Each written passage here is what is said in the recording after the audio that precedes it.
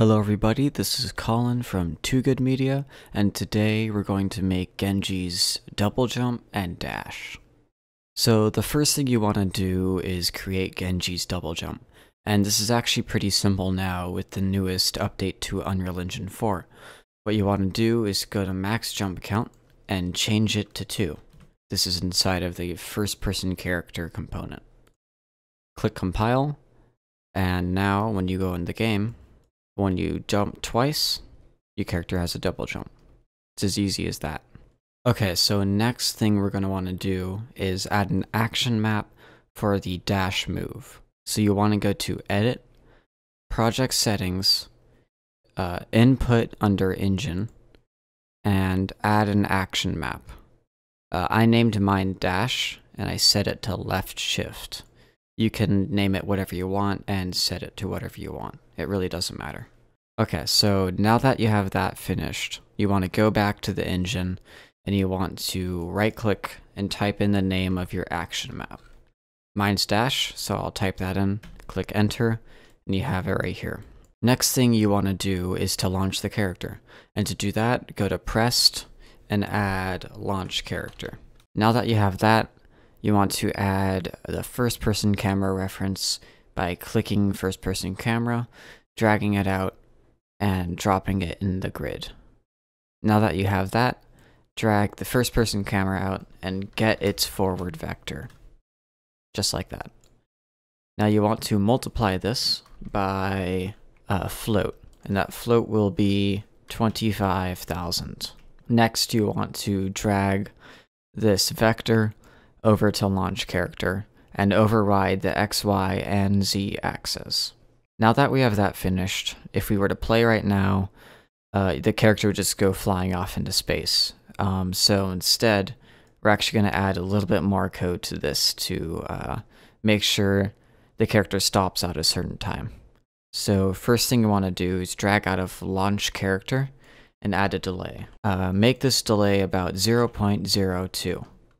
That should work for what we need. Now from there on the completed, we're going to want to stop the movement immediately. Now that we have that written out, the dash will work fine. So if we click play, we can now double jump.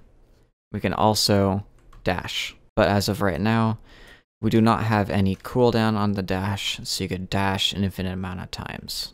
To make the cooldown for Genji, we're going to want to drag out this arrow and type in timeline add a timeline. Name it cooldown.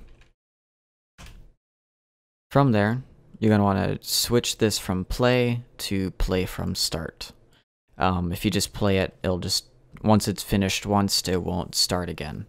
Now double click the cooldown, add a float, and name it cooldown.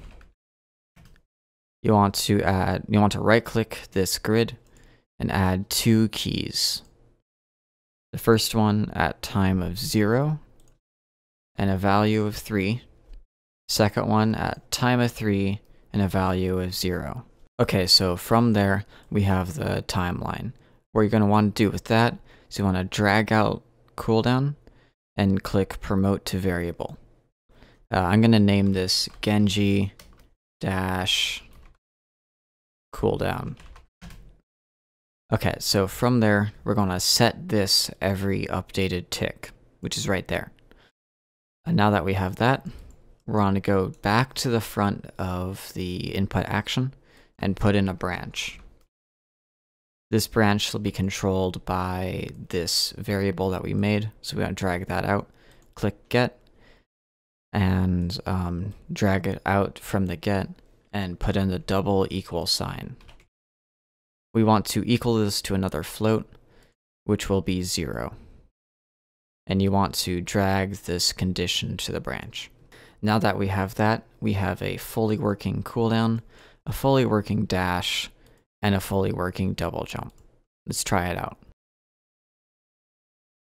So as you can see, we have a single jump, we have a double jump, and we have a dash.